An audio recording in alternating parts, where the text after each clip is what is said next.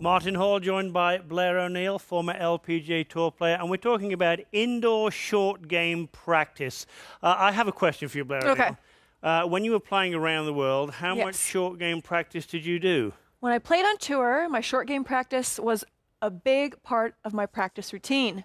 But I will say this I wish that when I was younger and a junior golfer, I wish I would have spent much, much more time on the short game. It would have helped me when I turned professional. So that's the one regret I have for all you juniors out there. Short game is so important. Yes, it really is. Now, there are things you can do indoors when you can't get out to the golf course for whatever reason uh, that do not involve hitting golf balls. When I was young, which of course was many moons ago, I used to chip golf balls around the house. And it often leads to a very irate mother when you break plant pots and things like that. Oh, I've broken a front door window before doing that when I was little. right through the front that. door. So look, the drills. We're, we're going to hit some shots into the simulator so you can see what the ball does. But these drills could be done without golf ball. And I've got three three drills to do indoor. The first one is to get the path of the swing reasonably online. So I'm just going to take two alignment rods and I'm going to point them about parallel to my target line. I'll come to the golf ball in a moment. Um, you could use two pieces of tape on the garage floor if you wanted to for this, but you don't have to have them too close together. We're going to say they're pointing about at the target.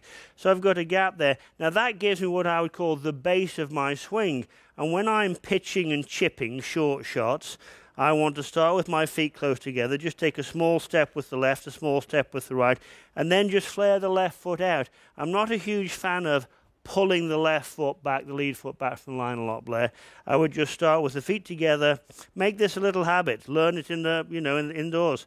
Turn that lead foot out. Now, I would want anybody and everybody, I've seen Jordan Spieth do this many, many times, learn to move the club a short distance back and through, back and through. You can hear me. I'm lightly brushing the mat in the studio here at the Golf Channel. I'm not banging the ground. I'm not missing the ground. I actually think of this club having four little wheels on the bottom of it. I'm trying to run those four wheels along the ground. So I'm trying to brush the grass as I swing back and forth, back and forth. And as I'm doing that, I'm putting a rhythm into it. I've done this for years. One, two, one, two, one, two. And as the swing gets a bit bigger, I let the feet and the knees and the hips and the shoulders sort of come to the party. So I'm going back and through, but I'm doing anything but trying to stay too still. I want motion. Motion offsets tension. So I'll do that a few times. I don't have to hit a ball at home because I'll probably get told off by Mrs. Hall. However, if we have the hitting light on here, I don't know if these uh, sticks might interfere with the computer, but just learn to just brush the swing back and forth and get that Good. club, uh, you know, striking the ball in the right direction. Let's see you try that, Blair. Okay. Um, such a lot to learn. I think all, all skills should be, let's start without the ball to start Okay. with. All skills, if they're going to be lasting, need to be learned from small to big and from slow to quick. Small to big, slow to quick. So I'd want anybody, irrespective of standard, prove to yourself you can do it correctly with a small swing. Brush, brush, brush, brush. One of Johnny Miller's favorite terms, this one. Brush, brush, brush, brush. Let the swing get a bit bigger, a bit bigger, a bit bigger. Uh, you know, as you're watching this at home, look how the feet and the knees and the hips shoulders are moving, there's nothing too independent, and, and you get a wonderful rhythm by this. One, two, one, two. And if you have a few swings like that next time you get to the golf course, fairly adjacent to the ball, and then just step up and hit the ball, Yeah. a lot of the anxiety disappears. So Build some much confidence. uh, well, all about building confidence and certainty, isn't it? We want that. So we're just clipping it away. That would be very good. That's right up, right on line, and uh, towards the flag. Now, if we get back a little bit farther from the green, we probably need just a little bit more descent, or if the lie isn't quite right, because we know they're not always good around the greens. Sometimes you can brush, brush like that if the lie is good, but sometimes you need a bit more descent. How can you indoor practice that? Well, it's not too hard actually. We get rid of one of these alignment rods, and we're going to put the other one at right angles, 90 degrees to the line of flight. Now, I'm going to ask you to pick a spot. I'll put a ball in there in a moment, but I'm going to ask you to pick a spot that is probably about the toe of the club to the heel in front, maybe Okay. maybe one hand span. And this is going to be a spot where I'm touching the mat there. And I now want to see, not you're not going to go back and through, back and through here, but I now want to see can you make a swing, just a short one, where you pick the club up a bit quicker, come down a bit sharper. Can you hit the ground about here without hitting that alignment rod? And me, without hitting me as well. I would never hit you, Martin. Not on purpose. I, I, I, I hope you would not. But that's a great drill. Yes. Again, not, not too hard for Blair O'Neal because she's played all over the world and is a very good player. Uh, let me ju- let's just trade places. Okay. Let me show you what's likely going to happen. And you know, those of you that have watched School of Golf over the years and watched me, you know how important I think feedback is. Feedback shows you your blind spots.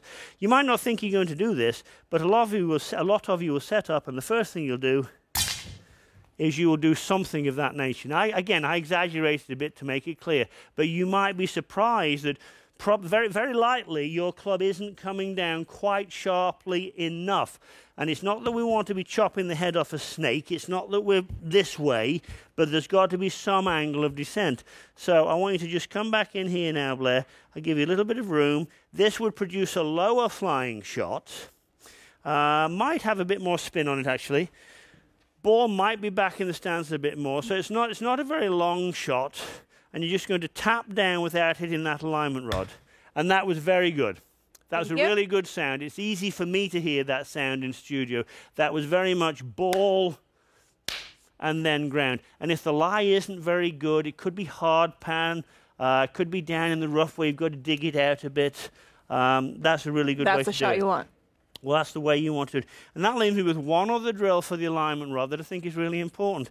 Again, you don't need to make too big a swing with this one, but if you take this alignment rod, Blair, and I'll show you what we're going to do here. And this is one that I think is really important for every golfer. Every golfer. Take that alignment rod, put it behind the grip of the club, Okay. and hold it with your lead hand, then your trail hand. Now, when you set up, uh, that, that's, that alignment rod will probably be lightly touching the front side of your body. I feel that Very lightly. As you swing back, of course, if there's any wrist action, it will come away from the body. As you swing forwards, my suggestion is that contact, it should not be touching the side of your body. I'm going to turn to my cameraman here. I don't want to be sort of cracking a rib and banging the side of my body.